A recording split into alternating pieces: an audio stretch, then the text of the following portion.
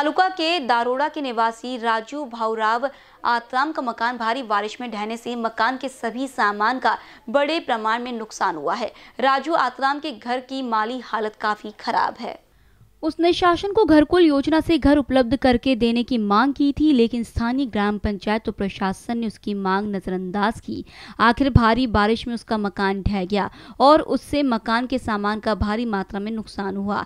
सौभाग्य से उस समय मकान में कोई नहीं होने से जीवित हानि टली।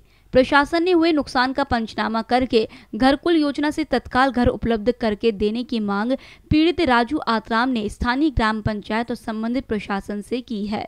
राजू भाऊरावजी आतराम राणा दारोडा तहसील वर्धा।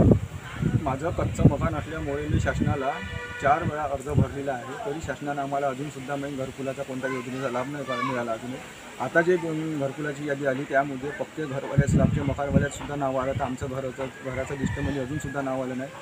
काल रात्री भयानक पाऊस आल्यामुळे काल रात्रीच्या टायमामध्ये आमचं मातीचे जे कच्चे मकान आहे ते रात्री पडून नाही का आज स दिवस निघाल्याच्या नंतर म्हणजे पडलं ते रात्री पडलं नाही म्हणून बरं झालं. त्याच्यामध्ये आमच्याला जीवाला हानी झाली शक शकते त्यामध्ये आता आमचं रात्री गव्हा गहू भांडे बाजा सात्र्या वगैरे जे झोपायचं सामान सुद्धा द- दबून काही पूर्ण नुकसान झालेलं आहे. त्यामुळे आम्हाला शासनाकडून आर्थिक मदत व घरकुलाचा लाभ देण्यात यावा. ही हिंगनघाट से रवि योनोरकर की रिपोर्ट.